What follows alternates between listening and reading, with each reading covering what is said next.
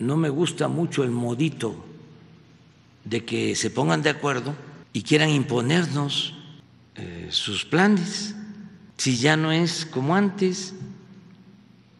Antes eh, el poder económico y el poder político eran lo mismo, se alimentaban, se nutrían mutuamente, ahora ya no. Ahora el gobierno representa a todos. Hay una separación entre poder económico y poder político. Entonces, ¿cómo este, que se hace un acuerdo y que ahora Hacienda lo avale? ¿Y que nosotros estamos aquí de floreros? ¿De adorno?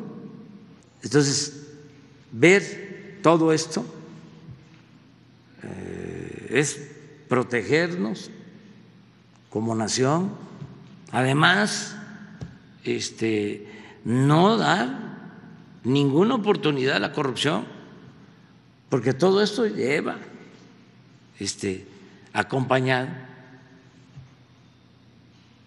esa política neoliberal siempre se hace acompañar de la corrupción. Entonces tenemos que estar muy pendientes. Yo nada más veo, yo me imagínense que el presidente se entera este, de que ya hubo un arreglo y que nada más van a pedirle que Hacienda vale, si es que así lo imaginaron,